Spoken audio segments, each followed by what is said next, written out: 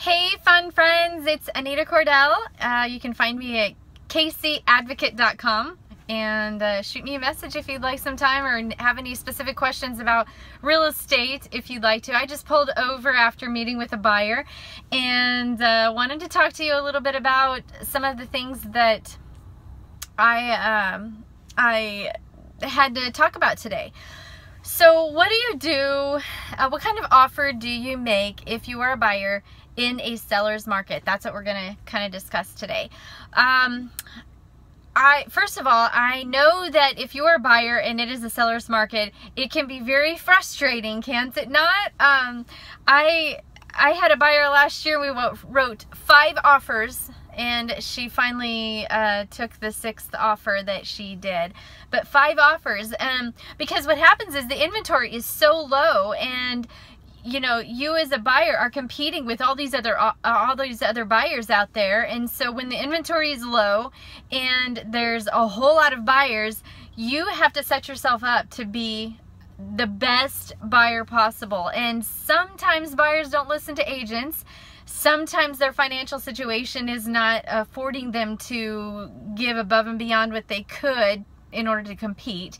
You know, there's multiple reasons. So let's talk about what you should offer um, a seller in a seller's market. So first of all, um, it's going to come down to your price point. Um, and the price point is important.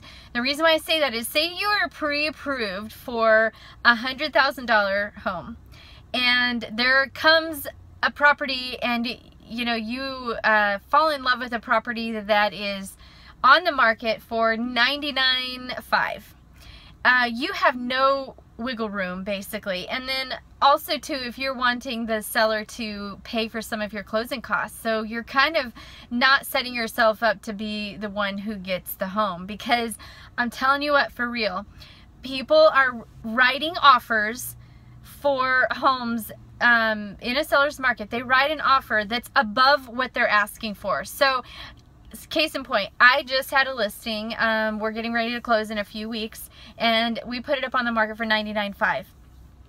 We got an offer that was over a 100,000. It was priced at 102. And so, um, and that offer was the one that was selected. You have to set yourself up to be the chosen one. And so what that means is you've got to um, in a seller's market, you're pretty much going to have to put an offer in above the list price above that. And not only that, but you're going to have to look at what the seller is going to net. So what that means is if you ask the seller to pay your closing costs or if you ask for them to buy a home warranty plan or if you ask for if you ask for them to accept your contingent offer you are not setting yourself up to be the one that is selected most likely especially if it's in a hot neighborhood or in an, a hot area so what you have to do is is um, if you're pre-approved to a hundred thousand and you want to be the selected person don't look at a hundred thousand dollar homes Another thing is um, look look at some homes that are a little bit less than that. Also, um, see if you can and figure out a different um, option for your closing costs. So uh, set yourself up to pay for your closing costs yourself, or put an offer in and uh, see if your lender can can lend on maybe 105,000 and then put a prop uh, put $5,000 extra onto the uh, onto the um, the offer.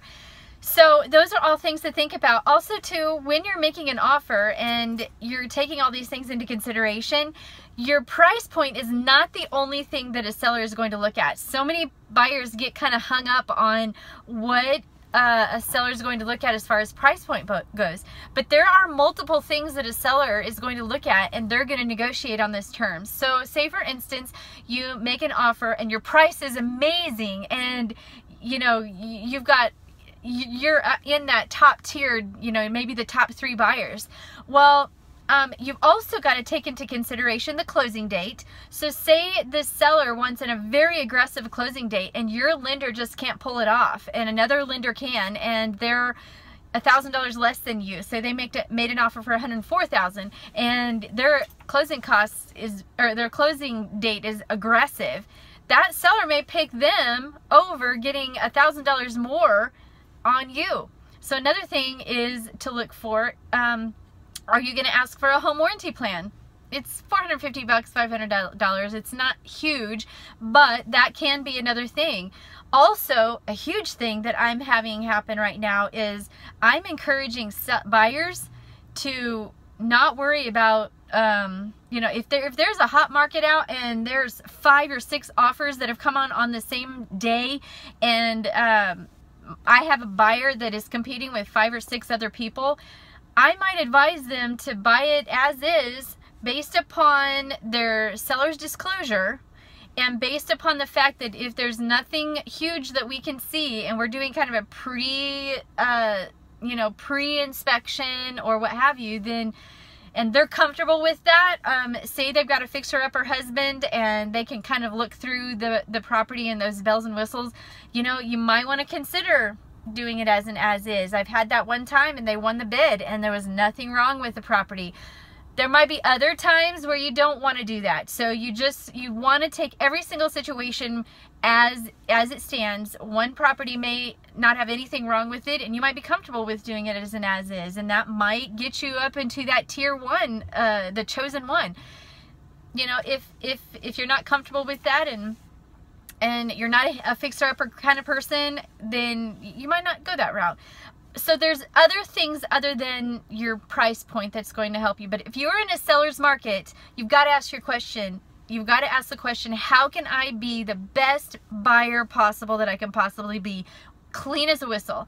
Um, so you're going to look at probably putting an offer in higher than it. You're not going to probably ask for anything or very little. You're going to ask for a very convenient closing date that is good for the seller. You're going to ask for, um, you know, maybe consider not asking for a home warranty plan, those kinds of things.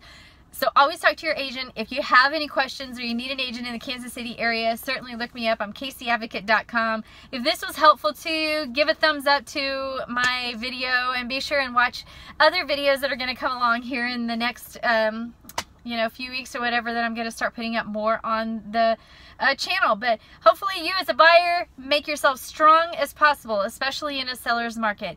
Um, hope that's helpful for you today. Have a great, great day. I'll talk to you later. Thanks.